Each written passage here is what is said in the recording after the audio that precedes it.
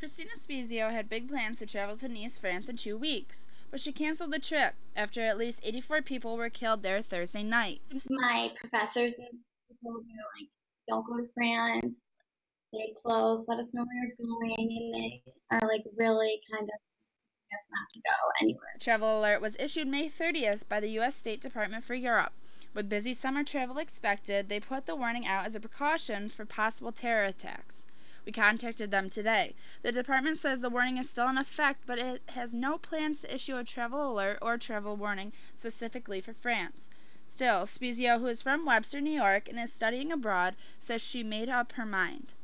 With recent events, it has uh, put some fun things into perspective, and it scared me, and I don't feel safe going to France anymore. News 8 also reached out to a local woman who was feet from where the attack occurred Thursday. In a cell phone video on her Facebook page, Monique Santiago says, I thank you and everyone for your prayers. They are much needed. Spezio says plenty of students were in the area, and when she heard the news, she checked social media immediately. One of my friends is there right now, yeah, and she the only way that I knew that she was safe was because she checked into Facebook.